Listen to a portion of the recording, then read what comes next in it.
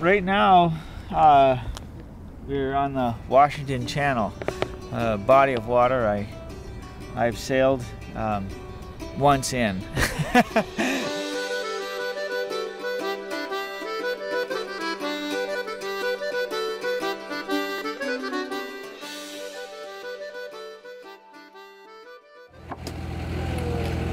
I got my parrot. I have my accordion. First of all, uh, I'd like to welcome everybody aboard the Ardelle. It's, it's uh, been really great working with everybody here and being part of this event. Um, as uh, most of you probably know, we sailed a little over 600 miles to get here, um, down from Massachusetts. And um, this is the schooner Ardelle. She's a representation of what we call a pinky schooner, which was uh, an early form of fishing boat uh, that was used developed in Essex and used along the New England coast.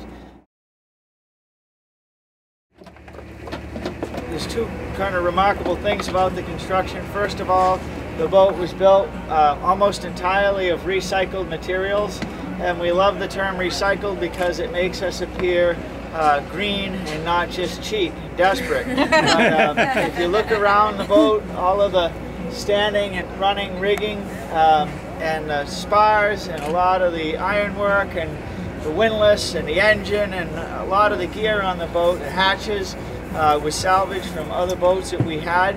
So the woods that are used in the boat are very similar to the woods that would have been used a couple hundred years ago.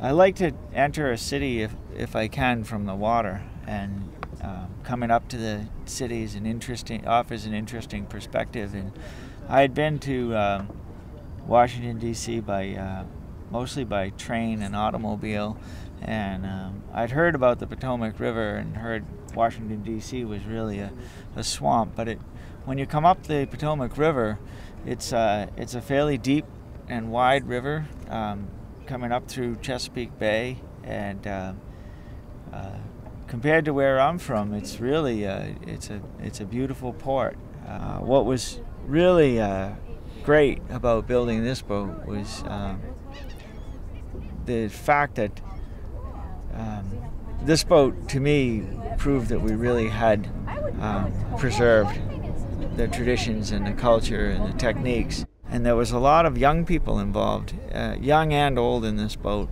Um, some of the people were, uh, you know, school age, so they could they had more time, and others were older retired guys who had more time to contribute to a, you know, a, a non-paying job, and and uh, how well the different generations work together and and learn from each other was uh, it was really uh, it was really great.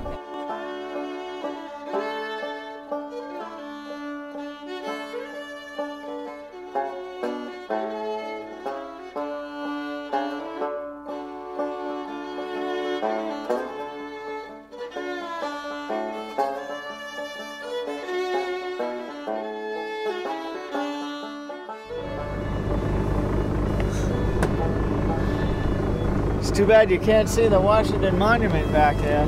Well, you can put it in, I'm sure.